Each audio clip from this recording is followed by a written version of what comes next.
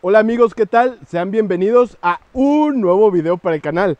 El día de hoy vamos a ver la etapa del llenado de grano. Si es tu primera vez que ves estos videos, te invito a que te suscribas. Aquí abajo del video dice suscribirse.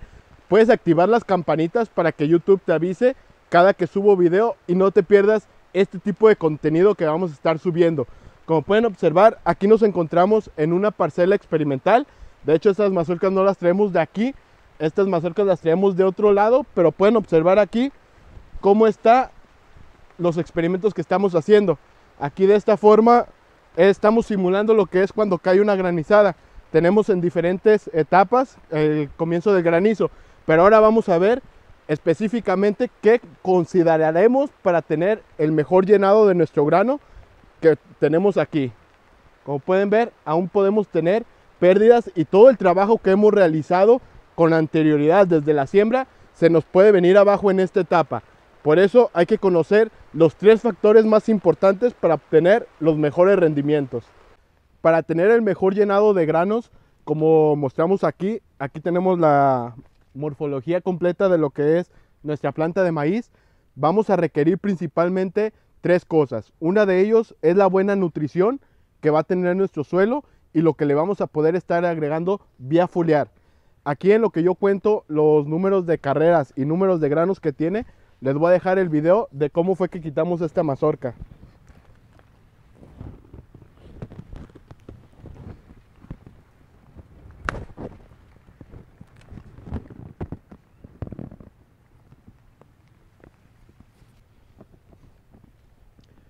Dentro de lo que es nuestra mazorca tenemos 16 hileras por 45 granos que se ve que ya se fecundaron. ¿Qué vamos a decir que es la fecundación? Vamos a tener nuestra planta, eh, la parte de mero arriba son lo que son las anteras y vamos a soltar el polen desde mero arriba y va a caer dentro de nuestra mazorca que tiene los estigmas o los pelitos. Una vez que cae ahí se llama polinización. Una vez que el polen recorre nuestro tubo polínico, que es el estigma, y llega a fecundar el óvulo, es cuando ya se empieza a formar el grano. Y de ahí va a ser el llenado. Al final del video les voy a dejar una tablita de todos los nutrientes que al final, a la hora de cosecha, ya sea en grano o rastrojos, se van a extraer del suelo, ya sean kilogramos por hectárea o algunos microelementos que son gramos por hectárea. Los elementos son bastante importantes, nada más para hacerlo rápido les voy a poner el ejemplo de dos elementos, ya sea el fósforo, que en las etapas principales, antes de llegar a lo que es B4, B6, va a absorberse aproximadamente un 10%, pero ese 10% va a hacer que nuestras raíces empiecen con un buen desarrollo. ¿Y qué llamamos un buen desarrollo? Como aquí van a poder observar, estas son raíces que tienen pelos absorbentes, y estas son de anclaje. Estas de anclaje, como podemos ver, aquí estaba hasta el borde de lo que es nuestro suelo y estas raíces penetraron hasta abajo, hasta abajo para poder succionar o absorber lo que es el agua. Cuando se presentan condiciones de estrés por sequía, el buen desarrollo de nuestras raíces va a hacer que no se note tanto y tengamos un buen llenado. También cuando tenemos nuestras raíces con buenos pelos absorbentes, estos al tener elementos, algunos que no son móviles, van a estar explorando toda esa área y van a hacer la acumulación de estos nutrientes dentro de nuestra planta y dentro de nuestro grano. También esos pelos absorbentes, aunque el elemento sea muy móvil, van a tener la capacidad, son como pequeñas boquitas que van a estar alimentando a lo que es nuestra planta. Lo que es el elemento potasio va a absorbernos nuestra planta cuando está en una etapa de B4, B6, lo mismo para poder hacer la comparativa con el fósforo, es más o menos un 15-20% en esa etapa. Va a ser muy importante para muchas funciones. Una de ellas va a ser que va a regular los estomas en abertura y cerrar para evitar los estreses. Entonces, en presencia de lo que es nuestro potasio, vamos a tener ese antiestrés, se podría decir, para las cuestiones de clima. Un ejemplo ya final de lo que se extrae con estos dos elementos, se extrae un total por cada tonelada producida de grano, estamos extrayendo de fósforo un 7 kilogramos más o menos por hectárea por cada tonelada y lo que es el potasio es un 20 kilogramos por hectárea por cada tonelada. Pero estos dos elementos, unos van más dirigidos a lo que es nuestro rastrojo, lo que es nuestra planta completa, y otros a lo que es nuestro grano. En cuanto a fósforo, se podría decir que tenemos un mayor porcentaje de kilogramos extraídos, ya que estamos teniendo más o menos 5.5 kilogramos de fósforo por cada tonelada. En cambio, lo que es nuestro potasio, solamente 4 y teníamos que es una extracción del 20. La gran mayoría se queda aquí. Recuerden quedarse hasta el final del video para que puedan ver la tabla y ustedes puedan comparar también la gente que vende rastrojos, qué elementos está vendiendo y que se están llevando a otros lados y no van a quedar en nuestra parcela. Una de las cuestiones que nos va a afectar también nuestro llenado de grano es la sanidad foliar que va a tener nuestra planta. Aquí nosotros vamos a observar la sanidad que tiene.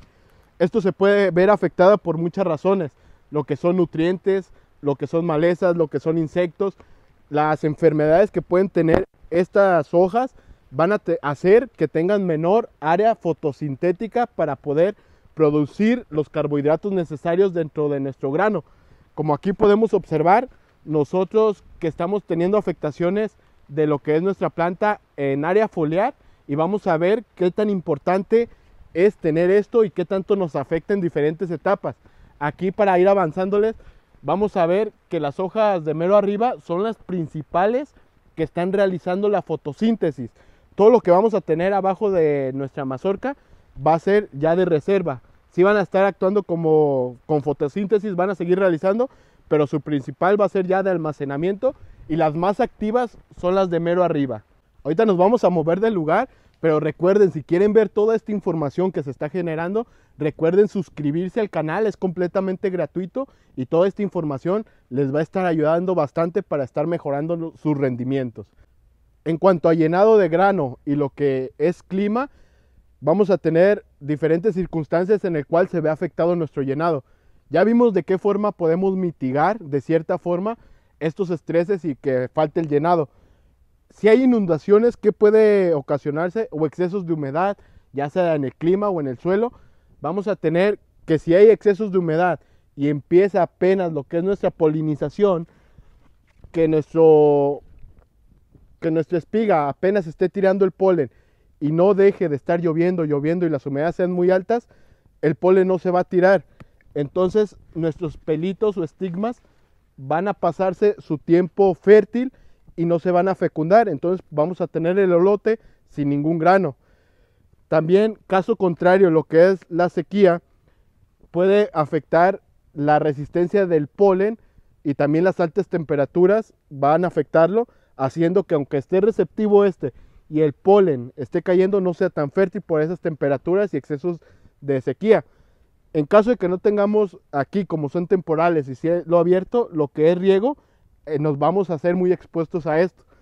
En cuanto a granizo, lo principal que nos va a afectar ya en una etapa que tenemos aquí, que no vamos a poder controlar, es el daño que va a tener nuestras hojas, principalmente mecánica va a ser, se van a desgarrar y esto principalmente va a ser la falta de fotosíntesis, lo cual no va a propiciar un buen llenado. Este daño que se hace a las hojas, ya sea tallo o al mismo, a la misma mazorca, va a ser un punto de entrada clave para lo que son enfermedades. Y esto va a hacer también que no tenga un buen llenado.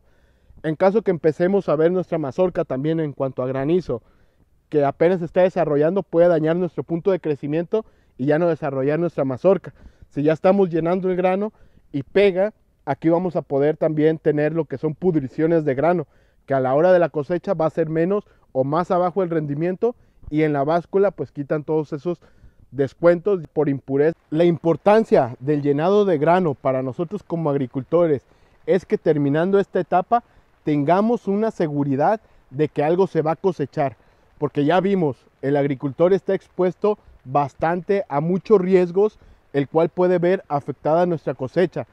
Y debemos de valorar este importante trabajo que realizamos nosotros, los agricultores y todas las personas que se dedican al agro. A veces es muy mal pagado estos trabajos, pero nosotros buscamos la mejor forma para poder salir adelante. Les recuerdo, si les gustó este video, les invito a que lo compartan y puedan hacerlo llegar a más personas de su interés.